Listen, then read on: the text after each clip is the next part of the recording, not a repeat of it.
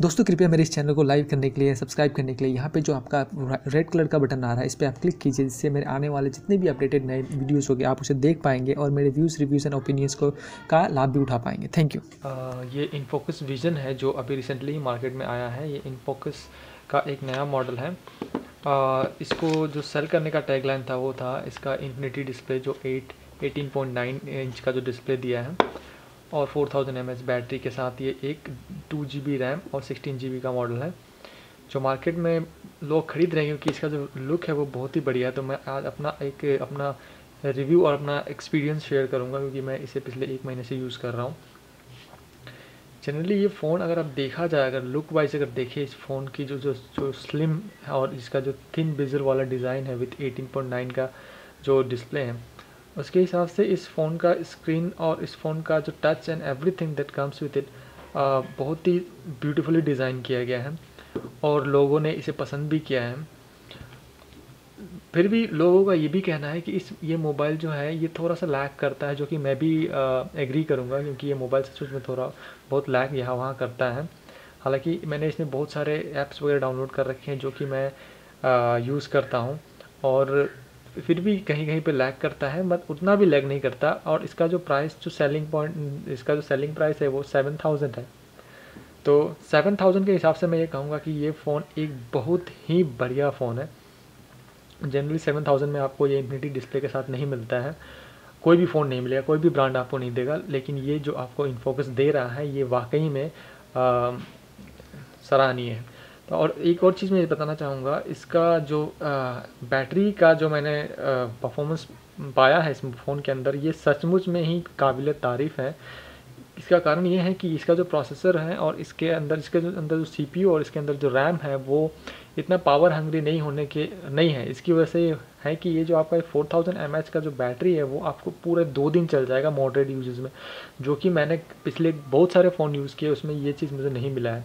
इसके पहले Coolpad cool one मैंने यूज़ करता था, जो एक बहुत ही फास्ट फ़ोन है। उसका प्रोसेसर भी स्नैपड्रैगन का हाई एंड प्रोसेसर है और थ्री जी रैम था। फोर थाउज़ेंड एम की बैटरी होने के बावजूद वो फ़ोन आपके पूरे एक दिन भी चल पाना मुश्किल हो जाता था।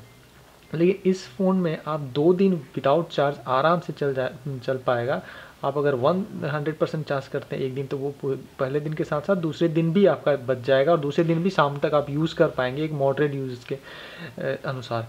तो ये चीज़ जो मुझे बहुत ही पसंद आया इस फ़ोन का हालाँकि इस पर आप गेम नहीं खेल सकते हैं लेकिन इस फ़ोन का डिस्प्ले इस फ़ोन का लुक और इस फ़ोन का व्यूइंग एंगल्स के साथ साथ आ, जो टच और डुअल कैमरा है ये सचमुच में ही ख़रीदने लायक है और आप इसे ज़रूर ख़रीदें इस फ़ोन को और मेरी मैं इसे आने वाले एक डेढ़ साल ज़रूर यूज़ करूँगा और जो भी चाहते हैं कि कम पैसे में कम बजट में एक बढ़िया आपको स्मार्टफ़ोन मिले तो जो लोग एमआई वगैरह के पीछे घूम रहे हैं और आ, आ, मैं उनको ये रिकमेंड करूँगा कि आप इसे ख़रीदें।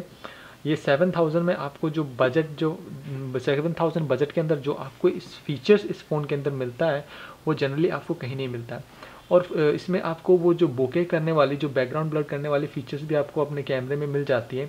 साथ ही साथ एक पीआईपी का एक फ़ीचर आता है। वो पीआईपी का फ़ीचर ये है कि जब भी आप यहाँ पे ये पीआईपी का फ़ीचर जैसे ही आप ऑन कर लेते हैं तो आप एक ही साथ फ्रंट एंड डुअल कैमरा के, में फ़ोटो ले सकेंगे।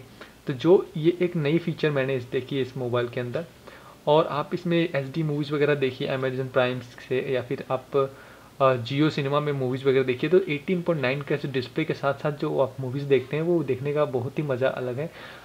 आप इसमें आसानी से बहुत सारे मूवी देख सकते हैं, अगर इसे हंड्रेड परसेंट चार्ज करते हैं तो अराउंड ये आपको पाँच से छः या सात मूवी आराम से निकाल देगा, क्योंकि इसका बैटरी बैकअप जो है, वो बहुत ही बढ़िया है, जो कि मैंने आज तक किसी और दूसरे मोबाइल में नहीं देखा। और इसका रीज़न ये सिंपल है, क्योंकि ये टू जी वाला वेरियंट है। और साथ ही साथ जो इसका सीपीयू है, वो एक मिड रेंज सी है, जो उतना पावर हंग्री नहीं है।